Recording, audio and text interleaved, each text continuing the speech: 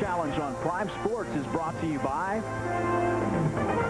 the Professional Cue Sports Association,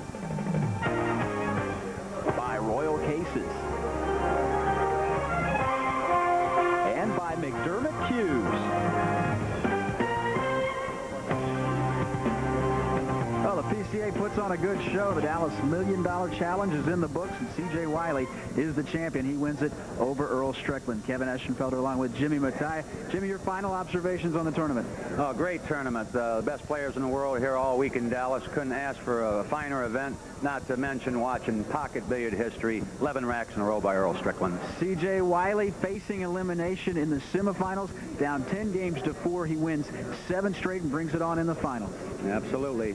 C.J. Wiley, he is the man to beat. He lost to Earl Strickland in the winner's bracket of the semifinals, but came on strong, avenged that loss against Earl Strickland. And this puts C.J. Wiley right up there with the best players in the world, right? Oh, absolutely. He's the number one man in the world right now, in my opinion, to beat. He's on a roll. And once he got through that semifinal in the loser's bracket, uh, it really just got on a roll, and he was the man with the momentum. Yeah, well, he's a tremendous player. You get that confidence going, that's what nine ball's all about. He was the more confident player tonight. And he did what you have to do against Earl Strickland. That's He kept Earl Strickland in his seat, right? Well, Earl's best friend is his break, and his break wasn't working tonight, and that really hurt him.